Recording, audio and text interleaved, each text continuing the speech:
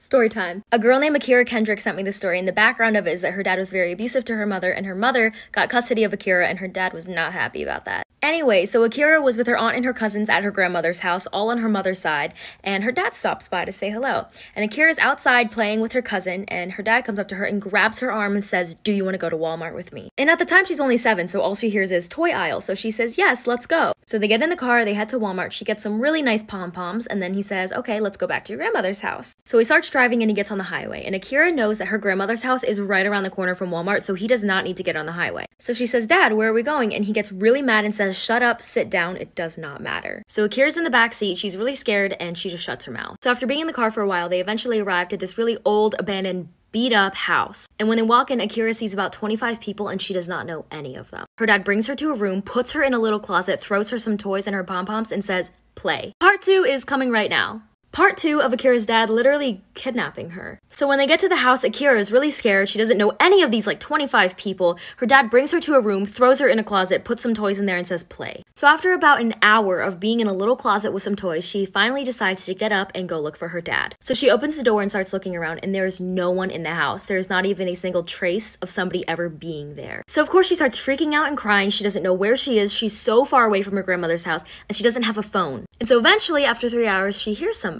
She looks up, and her dad is standing there, and he says, Come on, let's go. The cops are outside. So basically, Akira's aunt called the cops and they had a search warrant for him. They ended up finding her dad and they said to him, If you don't take us to her, you will go to jail. And obviously, from what I just said, he finally took them to her at this random old abandoned house and they found her. And they ended up putting him in jail anyways, because why not? Two years in jail and one year on probation. Don't steal children, people.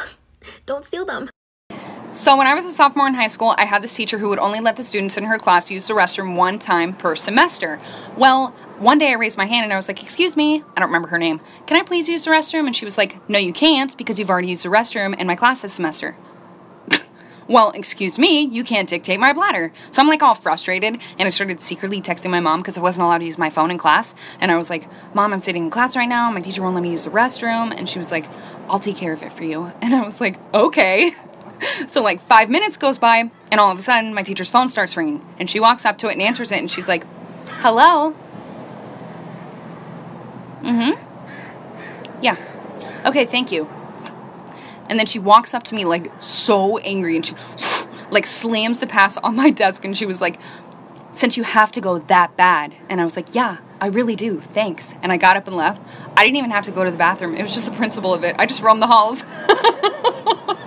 I was in class on Zoom. I wanted to go to sleep honestly because like when I'm tired, I go to sleep. I end up falling asleep and then class ends and everyone starts leaving the class except me because I was like in a whole other universe at this point. I was dreaming, I was flying. At this point, me and the teacher are alone in the call. This is the best part.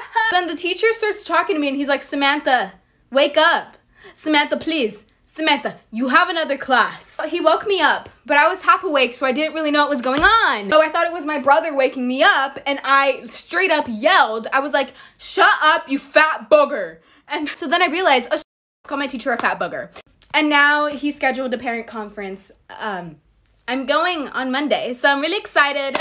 I made my teacher cry. Story time. When I was in second grade, I had this teacher and she was the devil, and we're gonna name her Miss Jackson. And the reason I call her a devil is because she would say really mean things to me to my face. She would be like, Ty, stop talking like that, you sound like a little girl. Or, your favorite color can't be pink, you have to choose one of the boy colors. And since I was so young, I didn't understand how serious these things were, and I didn't know I can get her in trouble. And I would go home sad like every single day. Eventually, my mom noticed and she asked me what was wrong. So I told her some of the things that Miss Jackson would say to me, and my mom was mad. And my mom was like, the next time she says something to you, say something rude back, and if you get in trouble, I'll handle her from there. So I was like, okay, I'll do it. Now, Miss Jackson was a heavy lady, so I knew if I said something rude to her, it would be about her weight. Though we don't body shame around here. We don't do that, okay? So I'm in school eating lunch with my friends who happen to be girls. And Miss Jackson comes up to me and she's like, Shouldn't you be eating with the boys? So I looked at her and I was like, Shouldn't you be eating a salad? And the lunchroom start laughing and then she started crying.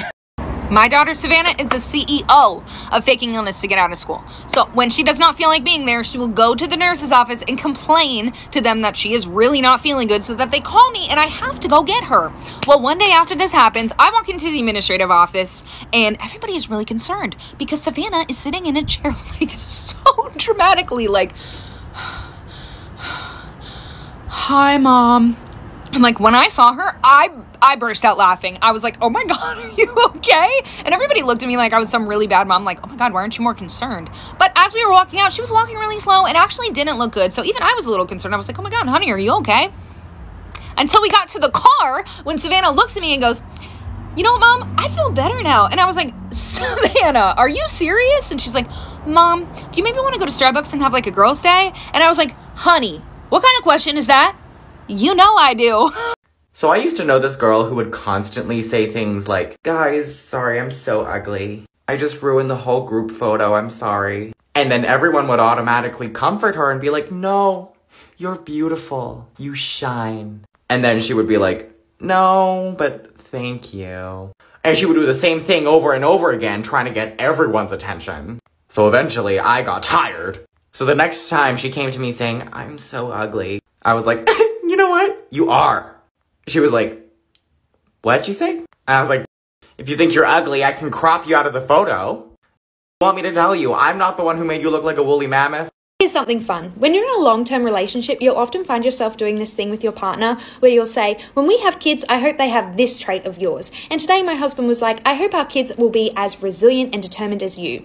When I was 11 years old, I got in a fight with my mum when she was picking me up from school, and I was being so rude that she wanted to teach me a lesson and scare me a little bit. So she said, You can find your own way home. Left me outside of my classroom, got in her car, and drove off. Now, realistically, she was just doing the block and was going to come back and pick me up, hoping that I would be apologetic. Uh, but I wasn't. I was very stubborn and was like, I can find my own way home, and I decided to run home. I, in fact, sprinted from the school grounds and ran into a close family friend who offered to give me a lift, which I accepted, and I got home by my own means. Now, my mum did do the block and not only came back to me not being where she left me, but to one of my friends saying, Yeah, I saw her get in the car with some weird guy.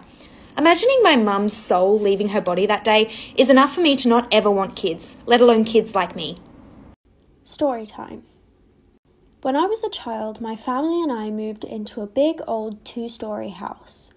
Both my parents worked, so I was often home alone when I came home from school. One evening, when I came home, the house was still dark. I called out for my mum just in case she was home and heard her sing song voice reply from upstairs. I called her again as I climbed the stairs to see which room she was in and again heard the same response.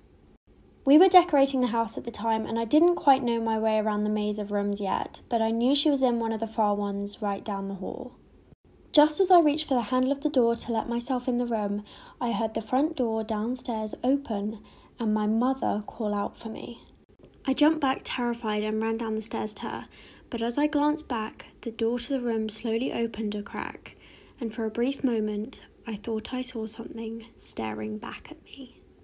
So the other day while my daughter Savannah's in the middle of her Zoom class, she kind of like leaves the room and she goes, Hey mom, do we have a pencil sharpener anywhere? And I was like, I don't think so. Like, why do you need a pencil? She's like, Yeah, um, my pencil, it's not working anymore. I've actually been sharpening it with scissors. This is her actual pencil she was using. And I was like, um, okay. Pretty sure you have like a million in your room, right? And she was like, No, I can't find any of them. And I was like, Of course. Like, Savannah's very messy and she loses a lot of stuff. So I was like, you know, it's no problem. I go into the kitchen, I go to grab her pen, right? So I'm walking back to her room. Her cat, who likes no one in my house except for Savannah, by the way, is waiting for me. The second my little toe steps foot through her door, she just right in my toe. So I fall to the ground and I was like, fuck. Whole class hears me, so embarrassing. Anyways, don't care. Um, so I go to give her the pen, and she goes, Mom, I can't use that. I can't use a pen because I don't want to mess up my notes. Y'all, look at her notes. Look at this paper my daughter. So when I was in the fourth grade, I had a science fair where I had to come up with a new invention, and I came up with the greatest idea of all time. I thought it was incredibly innovative new technology, and I called it Brownie CC's, aka Brownie Cupcakes. Now, the day of the science fair, I showed up to school without my Brownie CC's because my mom didn't have enough ingredients to make them fresh for the class, which is what I wanted. And so my teacher screamed at me and sent me to a second grade classroom to do work all day, and I cried because the rest of the fourth grade got to just have fun and celebrate the science fair. And when I got home, my mom gave me money to get Pokemon cards, which made made me feel a little better. Now, my family is very well versed on this little childhood trauma of mine, especially Savannah. Like, I would literally start off the story like randomly and be like, fourth grade science fair project, and she'll roll her eyes at me and be like, oh my god, I know, mom, brownie CC's. Well, I was going through her backpack one day when she was in like the fourth or fifth grade herself, and I saw that she stole my invention for her project. I saw the paper, it said Brownie CC's, and I look at her and I'm like, what is this, Savannah? And she's like, uh, uh.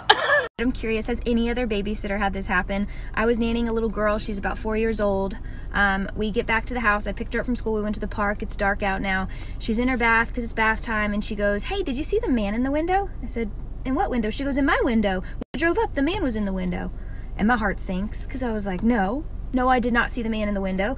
So I go and check the house thoroughly, and there's nobody in the house, but the back door was unlocked, and whoever had left the house last, I guess, left the back door open. So that was a little weird, but I didn't see a man. So I go back in, I get to the bathroom, and she goes, "The man's in the hallway now." And I was like, "Well, I didn't, I didn't see a man in the hallway." She's like, "He just walked by." And this isn't a kid that I'd, I'd known this child really well, and she'd never lied before. So I grab her, wrap her up in a towel. We're out of the house. I call my boyfriend. I'm like, "You need to get over here and check this house." There's apparently a man in the house, and I'm freaked out. He checks the house, no man. And I look at the girl and I say, Can you describe the man? Do you know his name? And she goes, Yeah, his name is Jesus. He's everywhere. So my daughter Savannah is epileptic, and most of y'all know this by now. And when she has grand mal seizures, which doesn't happen very often, like it's a production, right? Like she makes noises, there's warning signs, and then she drops, seizes, goes into her tonic-clonic phase, and then goes to bed for a few hours, and then she wakes up. She's totally fine. Well, listen, I was just in the kitchen talking to Savannah. I was putting a little uncrustable in the toaster for my son, and she stops talking to me mid-sentence, no warning at all, and just drops. And I'm like, oh and I catch her and I ease her down to the ground and I'm like, oh my god, here we go, here we go. And I'm like rubbing her head. I'm like, it's gonna be okay. She's seizing. I'm holding her. My son is climbing on my back at the same time. And I'm like, buddy, get out of here. Your sister's having a seizure. And all of a sudden, without missing a beat, she stops seizing and goes, hi, mom. And I'm like, I'm having a full blown panic attack. I'm like, are you okay? And she's like, yeah, I'm fine. That was weird. Can I go play Roblox? This girl Oh!